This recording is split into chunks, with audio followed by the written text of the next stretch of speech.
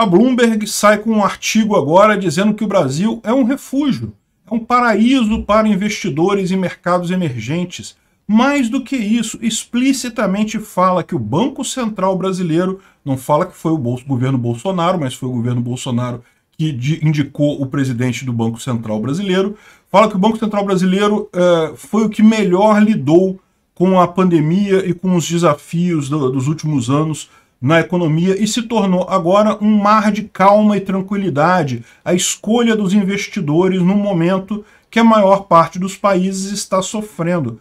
Quem diria que um dia a gente iria ouvir esse tipo de notícia sobre o Brasil, né? Essa notícia foi sugerida por Snow, Diego Souza e várias outras pessoas. Obrigado aí ao pessoal que sugeriu a notícia. Obrigado a você que está assistindo o nosso vídeo. Se você gosta do nosso conteúdo, por favor, deixe o seu like, se inscreva aqui no canal, né? Então, o que, que ele está dizendo aqui? É, aqui é a, a, revista Oeste falando sobre o caso, né? Aqui tem a tradução na íntegra do, do artigo. Só para vocês saberem, o artigo é este daqui. É, Brasil volátil é um caso solitário de touro, né? Touro é como eles chamam um mercado é, crescendo, né, em alta, é, no caso dos mercados emergentes, né? E aí vem o, o artigo aqui, aqui tá só uma, um pedacinho, porque tem o, o, o, paywall da Bloomberg, né? A Bloomberg, para quem não sabe, é uma, é uma mídia muito esquerdista lá nos Estados Unidos e focada mais em finanças. Mas tem outros, outros lugares em que você pode ler o artigo na íntegra em inglês, como por exemplo no Yahoo Finance, é só você buscar pela, pelo título que você consegue achar ele, mas aqui na, na, na própria revista Oeste tem a tradução dele, então vamos, vamos seguir por aqui. E, ele fala assim, ó, enquanto a volatilidade atinge até mesmo as economias mais fortes dos mercados emergentes, um país está se transformando em um refúgio de calma e a escolha dos investidores para a onda de aperto do Federal Reserve, o Banco Central dos Estados Unidos, o Brasil, né? O que, que ele está falando aqui de aperto do Federal Reserve? Aquilo que a gente já falou que está afetando o mundo todo, inclusive vizinhos nossos, o efeito do dólar milkshake. O que está acontecendo? O Banco Central americano subiu a taxa de juros. Aí o que, que acontece no mundo todo? Os investidores preferem ganhar um pouquinho nos Estados Unidos com mais segurança do que ganhar um montão na Argentina, ou no Peru, ou na Colômbia, ou no Chile, países que eles sabem que eles não sabem se vão conseguir tirar o dinheiro de lá, né? Esses países todos estão com poucas reservas em dólar, não tem uma balança superavitária muito grande para ficar é, é, é, reposicionando eles em dólar.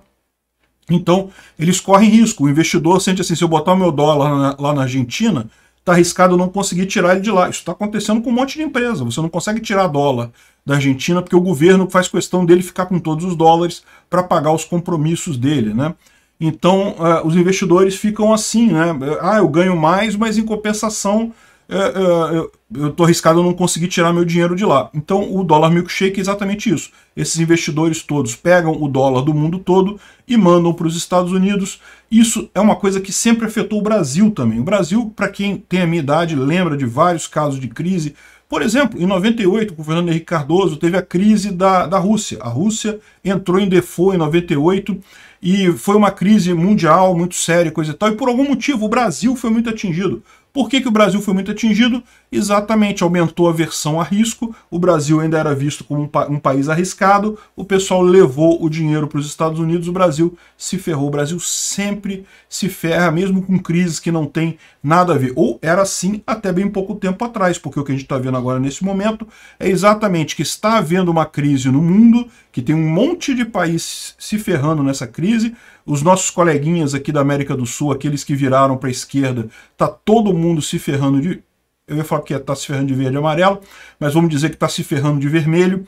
E uh, justamente por isso, porque os dólares sumiram todos, eles não têm dinheiro para bancar as contas dos países, está todo mundo passando aperto. A gente está vendo lá o amigo do Lula, lá na Colômbia, o Petro, pedindo pelo amor de Deus para os investidores não tirarem dinheiro. O, o Boric no Chile também pedindo, eh, pelo amor de Deus. O cara da Argentina nem sabe mais o que fazer, já inventa, vai para o 15 congelamento de preço para ver se resolve alguma coisa.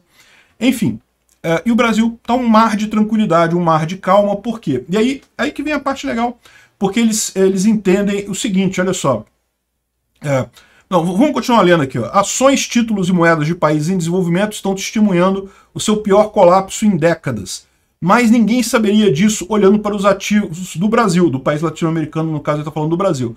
Os investidores estão obtendo retornos de carregamento de dois dígitos da sua moeda, fazendo as apostas de títulos mais otimistas em 13 anos, poupando sua dívida em moeda local de uma liquidação de alto rendimento e chamando as suas ações de o negócio mais quente da cidade.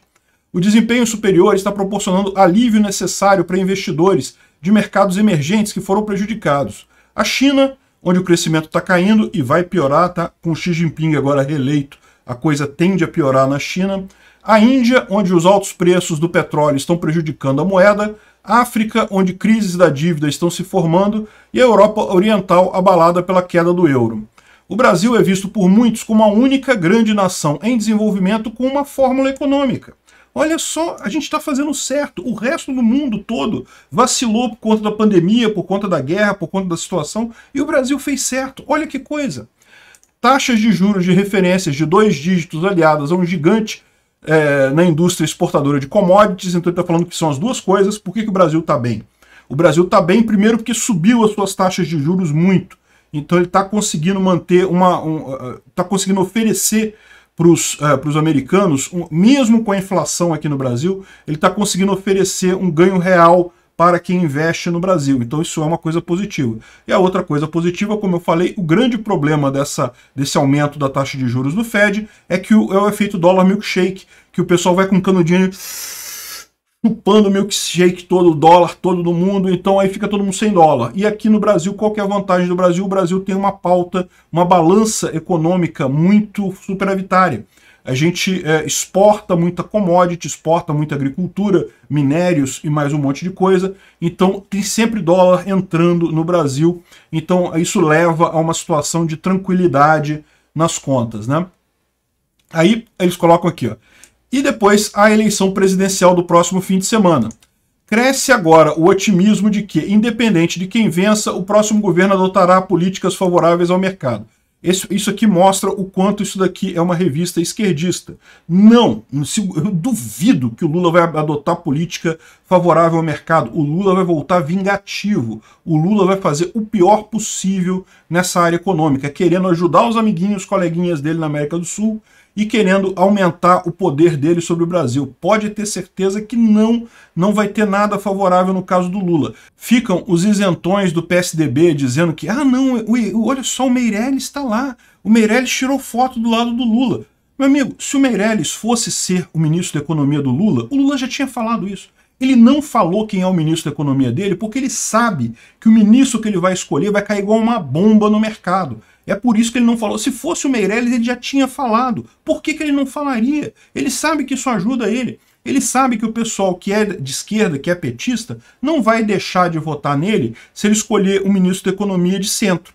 Agora, ele sabe que o pessoal de centro vai deixar de votar nele se ele escolher um ministro da Economia de esquerda. Então, que que ele, o fato de ele não ter definido o ministro da Economia significa o quê? Que ele vai escolher alguém radical de esquerda. Ele vai botar o pior do pior é, é, para comandar a economia brasileira. Então, esse papo aqui, esse wishful thinking aqui de que o próximo governo adotará políticas favoráveis ao mercado é lorota. Não. Se for Bolsonaro, sim. E é por isso que é, essas ações todas ainda deram uma melhorada nos últimos dias, justamente porque estamos vendo o aumento da chance de Bolsonaro ganhar a eleição, né? Desde o início eu falei que ele ganharia, acho que ele sempre teve a maior chance de ganhar, mas é lógico, essas coisas ficam todas, é, tudo é possível numa eleição, né? Parece que agora a gente está caminhando de fato para uma vitória de Bolsonaro. Então, por isso que as coisas estão tão bem. Não, não tem nada esse negócio de independente de quem vença. É o que eu falei, amigo. Se o Lula fosse ser um cara moderado, ele já tinha falado o plano econômico dele, já tinha nomeado o Meirelles. A única coisa que ele pode fazer, o único, único motivo para ele não dizer quem vai ser o ministro da Economia dele é porque ele quer botar um ministro da esquerda. É óbvio isso. É evidente isso. Se fosse o, o Alckmin também, ele teria falado que era o Alckmin. Enfim. É... E aí, ele fala que, olha só, o Brasil é realmente um porto seguro que não se esperaria no período que antecedeu as eleições. E esse é um ano bastante difícil para os mercados emergentes em geral, com inflação, guerra na Ucrânia e o aperto do Federal Reserve. mas o Brasil se destaca e é uma história sólida de investimento, tanto no mercado financeiro quanto na economia real. E ele vem a dizer aqui, ó, que olha só, que é, no centro dessa história de sucesso está a busca obstinada do Brasil pelo aperto monetário para conter a inflação. Enquanto muitos bancos centrais de mercados emergentes aumentaram proativamente as taxas de juros, poucos foram tão agressivos quanto o Banco Central do Brasil. A taxa de referência agora é de quase 19, é, é, 7 vezes o que era há alguns meses atrás, há 19 meses atrás. Né? Realmente nossa taxa de juros chegou a 2%, agora está 17%, sei lá quanto é que tá, mas é muito mais realmente. 14%, né? 7 vezes 14%. Então, ou seja, a jogada funcionou. O Brasil se tornou o primeiro país em desenvolvimento a anunciar um pico da inflação que já vem caindo agora, né? A taxa de juros real do país está em 6,58%.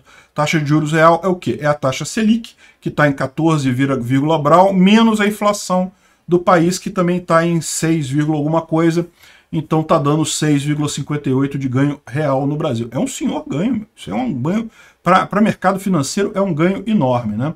É lógico, em momento algum eles vão, vão falar: ah, não, tá vendo? A equipe de Bolsonaro lidou direito com a pandemia, a equipe de Bolsonaro dirigiu a economia melhor do que todos os outros países do mundo, melhor do que a China, melhor do que a Europa, melhor do que os Estados Unidos, e lógico, comparar, nessa altura, comparar com a Argentina, Peru, Colômbia, Chile, esses países eco aqui da América Latina vermelho, é, não tem nem graça, né? Ou seja, o pessoal já está comparando eles aqui com China, com Europa, com é, é, Turquia, ou seja, países muito acima. O Brasil fez o dever de casa muito melhor. É o que eu falo para vocês. Bolsonaro acertou 100% na pandemia. É um absurdo o pessoal culpar ele por problemas na pandemia, porque ele tomou 100% das decisões corretas. Se teve alguém que errou, foi os governadores e prefeitos e o pessoal do STF, que, como eu expliquei já em outros vídeos, foi quem dividiu o Brasil. Né? O STF, ao soltar um ex-condenado sem motivo algum, foi ele que dividiu o Brasil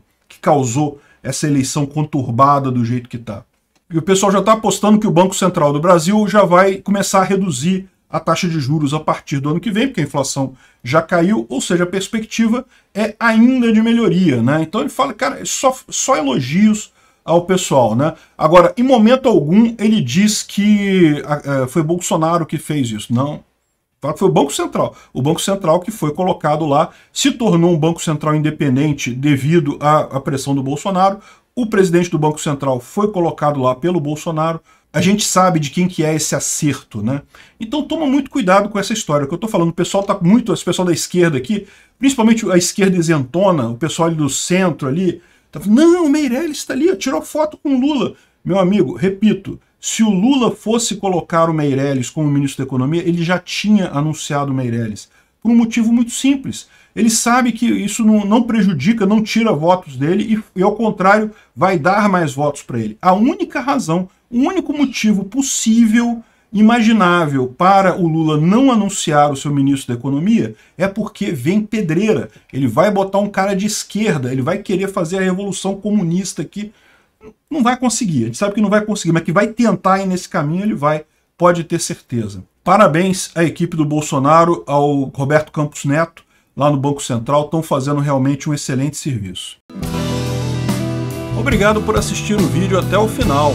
Além de curtir, compartilhar e se inscrever no canal, considere se tornar patrocinador com valores a partir de R$ 1,99 clique no botão Seja Membro abaixo para saber as condições e vantagens de patrocinar o canal. Mais informações sobre o nosso projeto, visite nossos sites indicados na tela.